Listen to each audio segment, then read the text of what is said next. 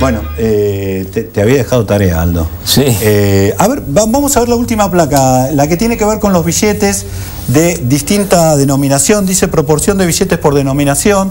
Aquí la tenemos.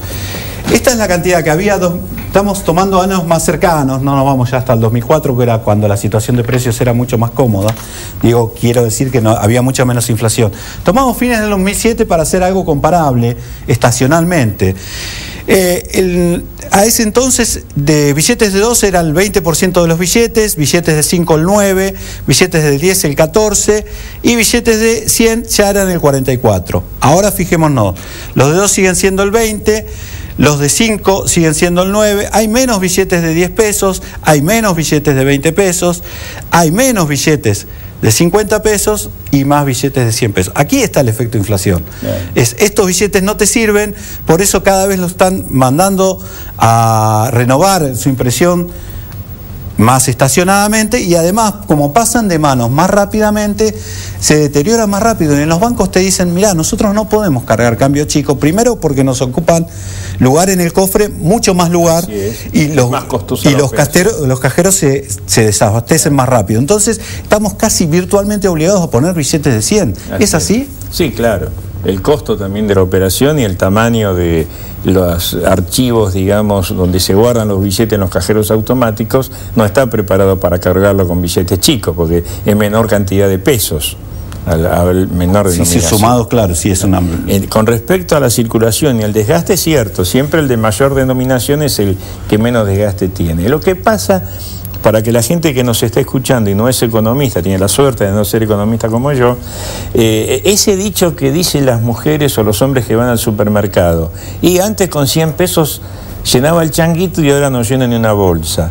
Bueno, este es el problema. O sea, la inflación va carcomiendo el valor entonces, hoy vemos que para llenar un changuito en vez de 100 se necesita mínimo 300 pesos, algunos hablan de 500. Entonces, bueno, en vez de llevar 5 billetes de 100, podemos llevar 2 o 3 billetes de 200. Y eso permitiría un desahogo. Yo creo que es una decisión que van a tener que tomar en el transcurso del año que viene. En algún momento se va a imponer, digamos, la realidad. la realidad, como, la única verdad es la realidad. Como suele pasar en Argentina, se impone y termina siendo de esa manera. Eh, Aldo, apelo a tu condición de economista.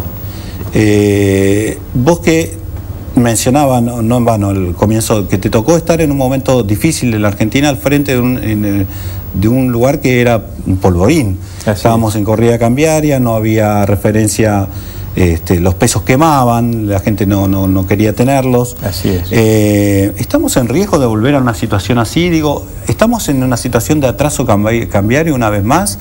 ¿O no están dadas las condiciones eh, para hacer en eh, Estamos en cierto atraso cambiario y vamos hacia un atraso cambiario. Es muy simple. El problema de la Argentina hoy no es tanto que el dólar está el, el peso dólar está atrasado, sino que hay alta inflación. Y esta inflación del 25% anual promedio que se está tomando, algunos hablan hasta de un 30%, con un dólar fijo, porque el dólar está débil y está fijo, te va carcomiendo la rentabilidad y la posibilidad de producir. la, competitividad de la moneda. Exactamente. Brasil tiene el mismo problema que nosotros, pero Brasil tiene el 4% anual de inflación. Entonces los ajustes salariales y de gastos locales van acompañando ese congelamiento del dólar. Ahora, si la competitividad en la moneda se pierde, pero trabajaste en otro tipo de competitividades porque bajaste impuestos o, mejoraste infraestructura, en este caso es, en infraestructura puede reconocerse al gobierno que ha hecho inversiones importantes. Sí, no, no, no bien distribuida y no suficiente. No el problema de energía eléctrica y de gas.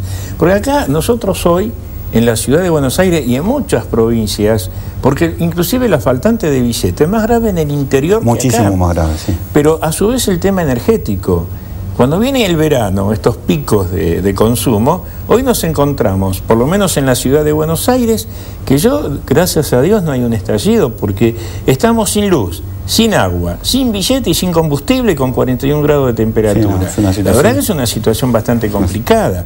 Entonces, es cierto, yo reconozco que el gobierno ha hecho un gran esfuerzo en obra de infraestructura, pero hay cosas que no se han hecho, como por ejemplo crecer eh, la generación de energía eléctrica como necesitamos y el tema del gas. En invierno, yo también tengo una actividad industrial que utiliza mucho el gas. Y en invierno tenemos paradas de fábrica por falta de gas.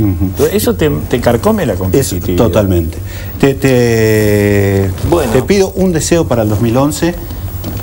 Bueno, el, 2011 es un año que no va a ser malo para la Argentina en términos económicos, eh, la preocupación tiene que ser la inflación, pero tengamos confianza, es un año electoral, va a haber cambio de gobierno, aún ganando el oficialismo es un cambio, porque va a cambiar la fórmula, porque va a cambiar su composición, y si gana la oposición, digo que aunque gane el gobierno o gane la oposición, va a ser mejor de lo que está, porque Argentina tiene que ir progresando. Hay una gran oportunidad y yo como argentino lo que deseo para el 2011 que sea mucho mejor que el 2010 y que logremos, por favor, la paz y el acuerdo entre todos los argentinos. Vamos a brindar por eso. Yo te voy a pedir, también me sumo a que Argentina sepa eh, comprender que tiene una oportunidad y aprovecharla. Dame un minuto para agradecer al canal, para agradecer a los televidentes, para agradecerle a Gastón, a Johnny, a Alejandra, a Valeria, a Belén, a Carlitos, eh, a la gente que